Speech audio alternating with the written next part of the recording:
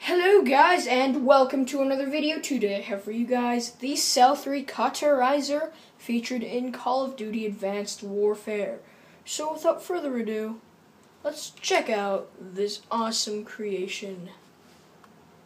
The Cel-3, a 16 rounded triple barreled shotgun featured in the new, Exo Zombies game mode in Call of Duty Advanced Warfare. This thing is a very, very good weapon that you get from the 3D printer for a thousand credits, and it has an extremely high output of damage.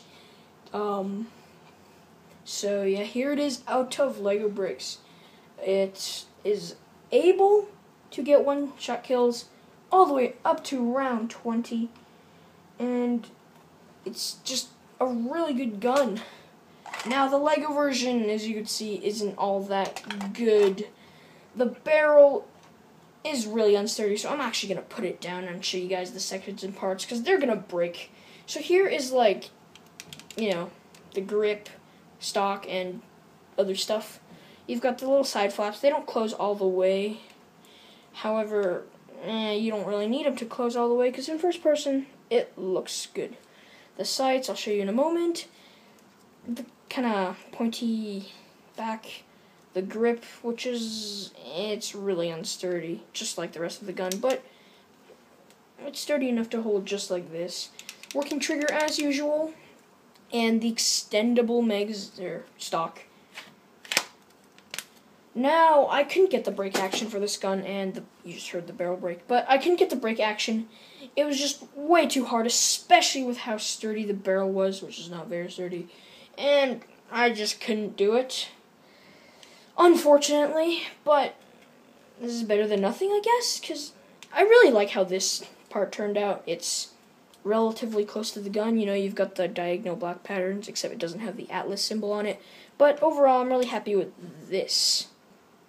So, this is the bane of my existence. The stupid barrel that took me hours and hours to build. Just this thing. Now, it's relatively sturdy by itself. However, when it attaches to the main body or whatever of the gun, it just flops. Just completely breaks and it doesn't stay properly and it doesn't. Yeah, it's just bad. The, only, the reason is because this is the only thing attaching it to the gun. Yay! So it's really wobbly, doesn't breaks very often. But overall, I don't I was really proud of myself for making this shape. I mean, look at it. It's pretty hard. And I'm going to see if I could just kind of, you know, peel it open to show you the innards. Alright, this is the best I could do, but as you can see, it's very colorful inside. Um, there's six pieces that fit together with these hinge bricks and it creates a triangular kind of shape. It was hard to design, but it works, and well,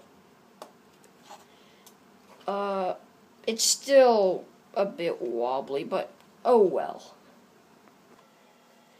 I'm gonna try to give you guys a look down the iron sights. Uh, I'm trying to hold it together as best as I can. It's really unsturdy, but I guess I'll have to do this sideways. Uh, but yeah, here they are. They're not too good. The ring in the back is just kind of a 2 by 2 dish piece in the front. Eh. But I guess I'm kind of happy with the, how the sights turned out. Can't say this is my best gun made. But that's basically it. Uh, overall, this really didn't turn out that well. It's definitely not my best gun. However, I really wanted to build it for Ruben G, who suggested this gun. It looks visually pleasing, I guess, but the barrel's just so bad. And yeah, that's basically so I want to thank you guys for watching, and screw this, I'll see you guys next time.